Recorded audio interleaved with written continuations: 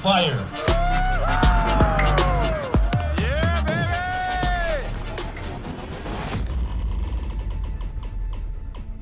We're out here with Total Wrecking because they want us to fly our FPV drones during an implosion. Total Wrecking is handling the demolition and clearing of this old coal power plant. I came out here when they began the job a few months ago to take a look at what the site looked like. It was filled with buildings and structures. It was really dense. They've cleared out so much of it. They've made some room. The implosion is going down. They're going to be knocking over the tall tower structure as well as bringing down the front face of the building behind it.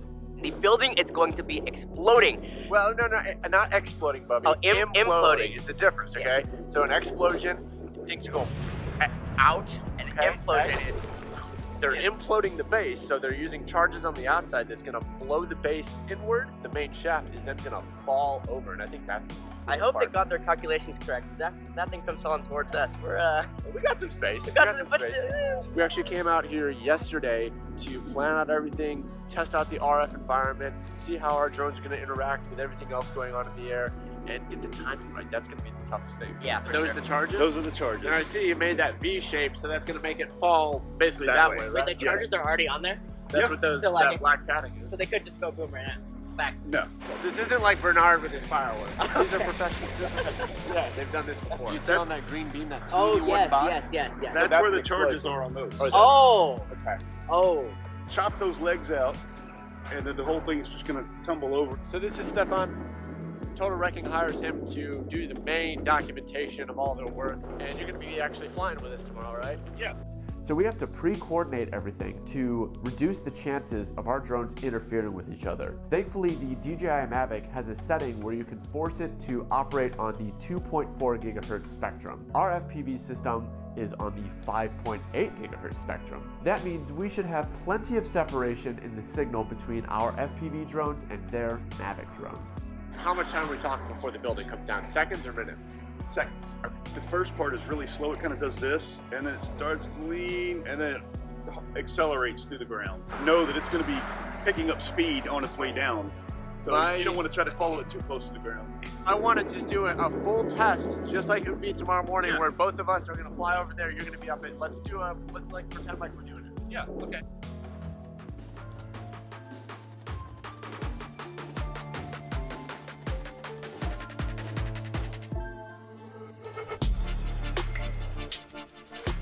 The reason we do this is so we can test our video and replicate the RF environments that will be there on the actual day of implosion. The biggest challenge is that you only get one shot at this. If you miss the shot, they can't put the building back up and let you have another go at it. It's done. Even timing out how long it takes us to get from the takeoff point to the site is important because we have to be positioned a safe distance away. My hands are literally freezing. Oh yeah, you're not. You're from California. You've never experienced. I'm from Florida's Michigan. supposed to be hot. I came here because it has good weather. What's up with it? Oh my gosh, you guys and your weather. They're going to blow the smokestack, and they're going to wait for it to be almost down before they hit the button Okay. to drop the other one. Tomorrow, the boom booms are going down. It's going to be amazing. We've done this once with them before. I got to fly a previous implosion with them, and it was one of the most intense experiences I've ever flown. Packed with adrenaline, the smoke was going everywhere. You feel it in your chest. Yeah. and I can't believe we get to do it again. Did you see the last video? I did see the last video. Yeah. You said like you felt it in your chest. It kind of feels like a, a big firework, but then when the building actually comes down, it's like Yeah. it's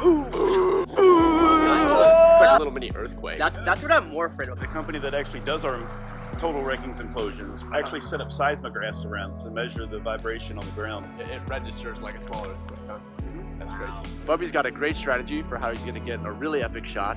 And I know he's going to nail it. I'm just going to go ahead and put my drone in harm's way. Since we have two of us, I'm to get right down to where the detonation occurs and see if we can get some of that like concussive force right in your face. We're to put the drone in a spot where you could never put a human camera operator. There we go. Is? Two minutes. Two minutes.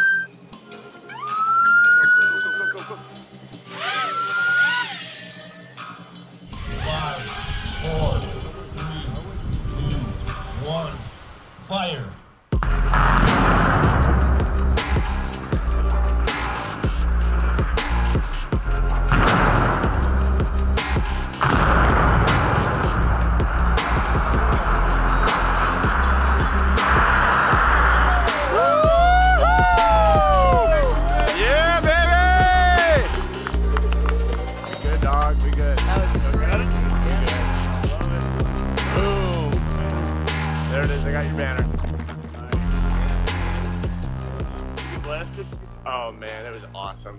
Dude, it felt faster than I thought it would. I was really hoping to fly under it, but no, nope. Yeah! Oh! Sick. Once we get this in the editor, once we color grade it and like do a bunch of speed ramping, this shot's gonna look super sick.